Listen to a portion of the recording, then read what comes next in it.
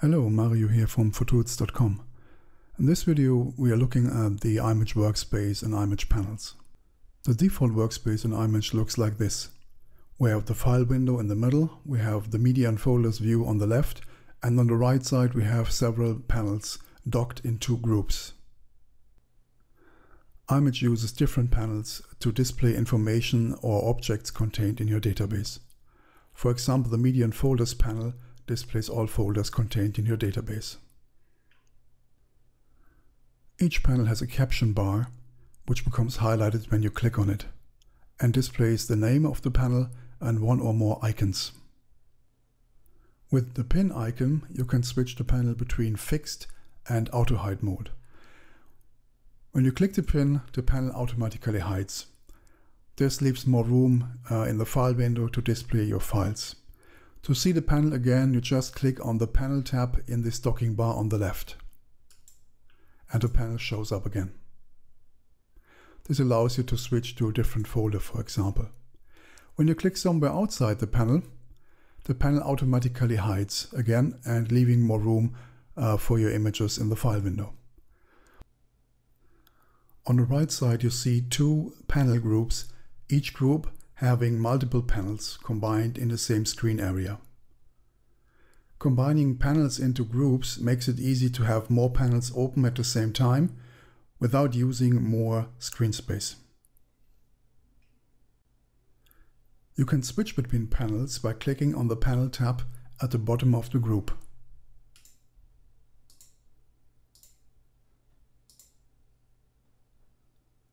With this icon in the caption bar, you can uh, change the panel size to full height, which is very handy if you have panels which show a lot of data. You can quickly switch between the full height and the docked size. You can also change the size of each group by just dragging the uh, resize edge at the bottom of the panel group.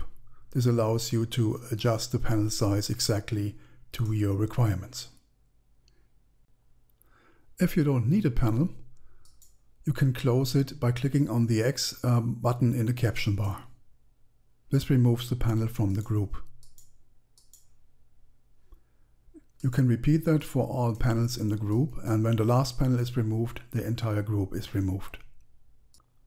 Like shown before, you can change the docking mode of a panel between fixed and auto hide using the pin icon in the caption bar. Since this is a group, each panel in that group displays in the docking bar with the icon or the panel tab and you can show individual uh, panels using these icons or the tab. To switch back to fixed mode, click on the pin icon again. To show additional panels, you go to the View menu and there to the Panel submenu. Here you see all available panels in IMatch. For example, to show the keyword panel again, I use this um, menu entry or the corresponding keyboard shortcut F9K. All panels have a default location and remember the last location where they were placed. This is why the keyword panel shows up exactly at this position. You can move panels around within the IMatch workspace or even let them float, converting them into separate windows to position them on a second monitor, for example. To move a panel, you left click the mouse into the caption bar, hold down the left mouse button, and then just drag the panel around.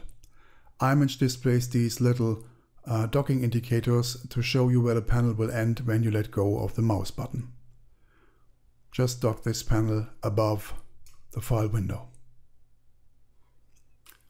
Or move it to the right side. Or again below the panel group we already have.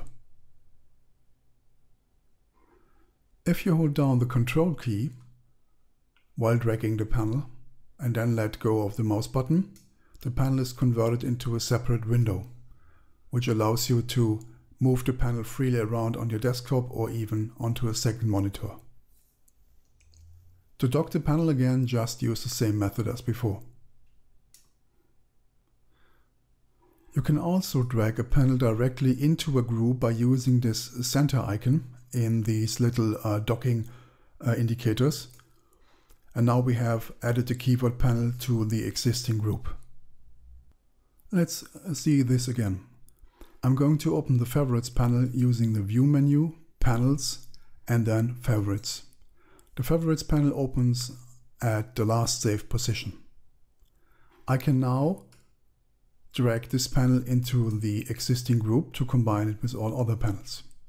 Or I drag the panel using the uh, tab at the position below the file window. And then, for example, um, use the app manager panel, the app panel and combine it into a new group. Now we have two panel groups with different panels. I can now drag this group to a different position or close individual panels. The general idea with all this panel magic is that iMatch enables you to customize the workspace exactly uh, how you like it. You can show more panels in different setups if you use a large monitor, or you can um, show or combine panels into different groups and then set them to auto hide if you need more screen uh, space for the file window, for example, or if you work on a small notebook monitor. It usually makes no sense to uh, show all panels or to have all panels offered by IMatch open at the same time because uh, there are a lot of panels and not every panel is used or useful in every context. In most cases, you set up a basic setup which is um, which suits your usual workflow and maybe one or two other panel setups for different aspects in your workflow like keyword editing, Storing and restoring panel layouts is done in IMatch by using workspaces. A workspace stores the size and position and options of all panels, and you can save it under a name and recall it later from the menu. Let's see how to define a workspace. In this example, I'm going to use the uh, map panel to display the files in the file window on a map. To show the panel, I go to the View menu, Panels, and then Maps. This opens the map panel in a predefined position.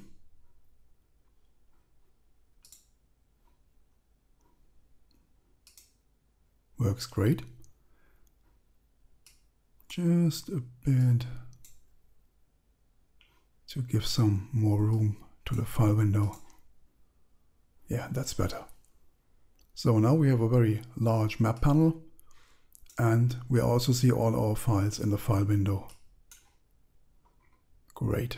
Now uh, to save this as a workspace, I go to the View menu, Workspace, Save Workspace, and enter a name, say Maps.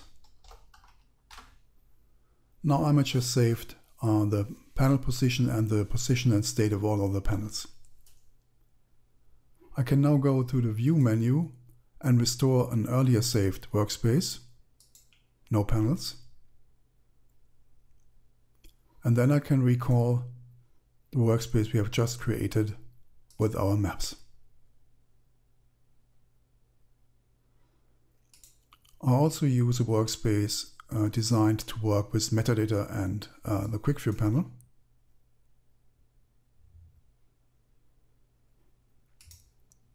Which gives me uh, plenty of space to see and edit the metadata. I can update an existing workspace by just doing the adjustments as needed and then going to view workspaces, save workspace and picking an existing workspace name from the list to replace it.